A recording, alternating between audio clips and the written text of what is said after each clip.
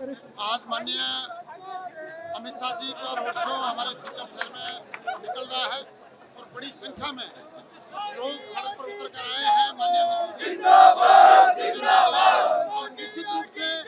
ये लोगों का जोश लग रहा है कि सीकर लोकसभा में बहुत बड़े बहुमत से जीत होगी। लगभग पाँच लाख वोटों से जीत हमारी निश्चित है और लोगों में बड़ा उत्साह है जो दस साल के अंदर माननीय मोदी जी ने अमित शाह जी ने जो फैसले लिए जो हमने आज देखने को मिल रहा है कि जो 370 की धारा हटाई राम मंदिर बना सीए की बात हो बहुत सारे फैसले जो लोगों के हित में लिए गए देश के हित में लिए गए आज पूरा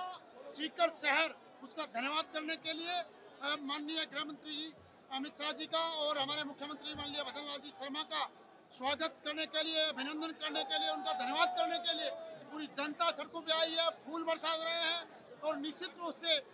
इसमें कोई दोहरा नहीं है कि लोगों के उत्साह को देखकर, भारतीय जनता पार्टी के प्रति उनका विश्वास और उमंग देखकर निश्चित रूप से हम सब लोग कह सकते हैं कि अब की बार पाँच लाख पूरे हिंदुस्तान के अंदर अब की बार 400 पार का नारा निश्चित रूप से सही साबित होगा। बहुत उत्साह आप देख रहे हैं, जैसे बहुत और मैं तो कहूँगा कि क्या मुकाबला करेंगे जो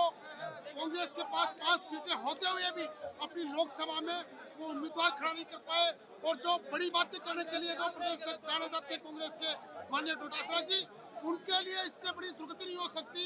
कि वो अपनी लोकसभा के अंदर, जहाँ पे पाँच विधायक उनकी पार्टी के हैं, वो अपना कैंडिडेट और उम्मीदवार तक खड़ा नहीं कर पाए इससे बड़ी बात उनके लिए कुछ नहीं हो सकती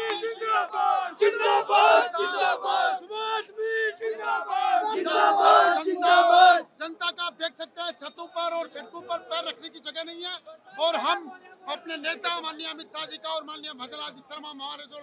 यशस्वी मुख्यमंत्री हैं, उनका स्वागत करने के लिए जनता और पूरा सीकर शहर उमड़ पड़ा है। धन्यवाद। सुभाष मील।